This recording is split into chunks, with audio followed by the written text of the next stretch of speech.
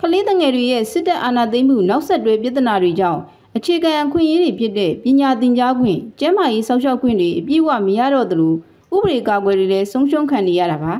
အဲ့ဒီထဲမှာတော့မြို့ပြကကလေးတငယ်တွေထက်တိုင်းရင်းသားဒေသနဲ့ကျေးလက်နေကလေးတငယ်တွေဟာတိုက်ပွဲတွေကြောင့်ထွက်ပြေးတင်းရှောင်နေရပြီးပညာသင်ကြားခွင့်ကအစဆုံးရှုံးနေရတယ်လို့ကျန်းမာရေးစောင့်ရှောက်မှုတွေလုံးဝမရတော့တဲ့အခြေအနေထိဖြစ်ပေါ်နေပါတယ်။တစ်ဖက်မှာလည်းမြို့ပြနဲ့ကျေးလက်နေကလေးငယ်တွေကလည်း စစ်တပ်အာဏာသိမ်းပြီးနောက်စီးပွားရေးစက်တိုက်ကျဆင်းလာတာကြောင့်မိသားစုဝမ်းရေးအတွက်ပညာမသင်ကြားနိုင်တော့ပဲကြုံရလုပ်တွေဝင်ရောက်လုပ်ကင်နေရတာပါ။ကလေးငယ်ရေးကူညီဆောင်ရွက်နေသူတို့ကတော့စစ်ကောင်စီလက်ထက်မှာကလေးငယ်ခွင့်ရေး90ရာခိုင်နှုန်းနီးပါးဆုံးရှုံးသွားပြီလို့တန်လင်တိုင်းကိုပြောပါတယ်။အာနာ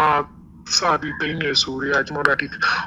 ကလေးတွေကဆိုလို့ရှိရင်အဓိကပညာရေးရယ်ပညာရေးရယ်ကျန်းမာရေးစောင့်ရှောက်မှုတွေပေါ့နော်ဒီစစ်အာဏာသိမ်းအာဏာသိမ်းပြီးတဲ့နောက်ပိုင်းမှာကျွန်တော်တို့ဒီစီးပွားရေးတွေဟာဆိုတော့ကျွန်တော်တို့ကကောင်းဖြစ်သွားတယ်ပေါ့နော်စီးပွားရေးတွေကျွန်တော်တို့ကျဆင်းသွားတယ်ကျဆင်းသွားတဲ့အတွက်မှလို့ရှိရင်မိသားစုတွေမှာ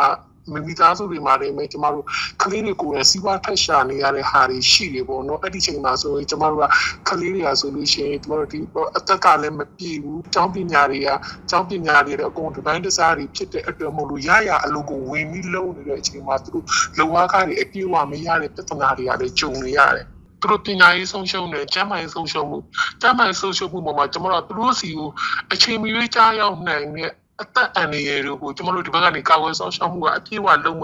အပြည့်အဝလုပ်ပေးမနေနိုင်တဲ့အတွက်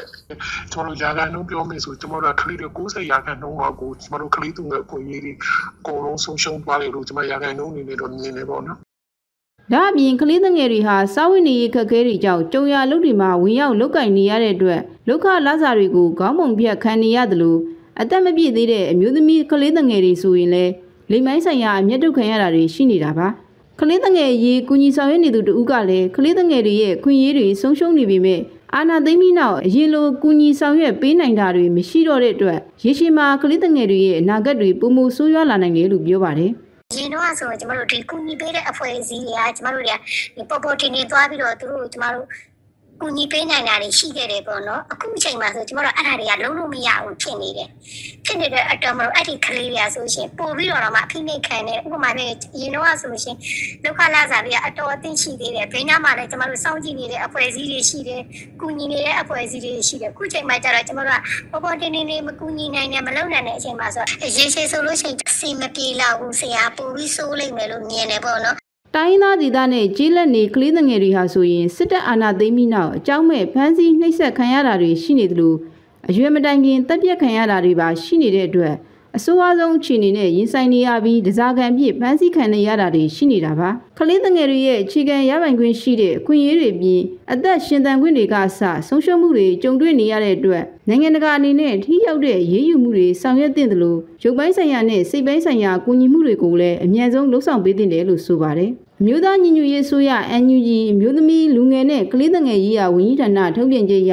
စစ်တပ်အာဏာသိမ်းနှစ်နှစ်ကျော်ကာလအတွင်း စစ်ကောင်စီတပ်ရဲ့ကြမ်းဖက်မှုတွေကြောင့်ကလေး395ဦးသေဆုံးခဲ့ပြီးသခိုင်းတိုင်းမှာသေဆုံးမှုအများဆုံးဖြစ်တယ်လို့ဆိုပါတယ်။နိုင်ငံရေးကျင်းသားများကူညီဆောက်ရှောက်ရေးအသင်း AAPP ကတော့စစ်တပ်အာဏာသိမ်းကာလအတွင်းကလေးငယ်600ကျော်ဖမ်းဆီးခံထားရပြီးကလေးငယ်390နီးပါးတပ်ပြတ်ခံထားရတယ်လို့ထုတ်ပြန်ထားပါတယ်။